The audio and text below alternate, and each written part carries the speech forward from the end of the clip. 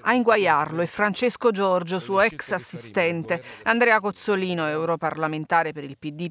Da ieri sera è nel carcere di Poggioreale con le accuse di corruzione e riciclaggio. Il mandato di arresto è stato firmato dal giudice belga e apre un nuovo capitolo sul caso Qatargate. Secondo i magistrati belgi ha ricevuto soldi e regali dal Marocco. Il suo collega socialista Marc Tarabella è in stato di fermo, è stato preso in custodia con un blitz nel suo paese. Il suo ufficio al Parlamento europeo è stato sottoposto a sequestro. Il giudice deciderà ora se trasformare il fermo in arresto. Al collega italiano l'arresto è stato notificato dalla Guardia di Finanza a Napoli dopo essere stato dimesso da una clinica dove era stato ricoverato.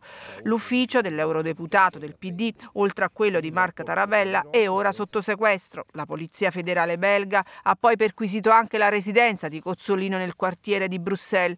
Il 2 febbraio il Parlamento europeo aveva deciso di revocare l'immunità a entrambi. Gli inquirenti ipotizzano invece un loro coinvolgimento nella trama di corruzione organizzata dall'ex eurodeputato, ora pentito Antonio Panzeri, che ha portato in carcere anche l'assistente Francesco Giorgi e l'ex vicepresidente del Parlamento europeo Eva Kaili.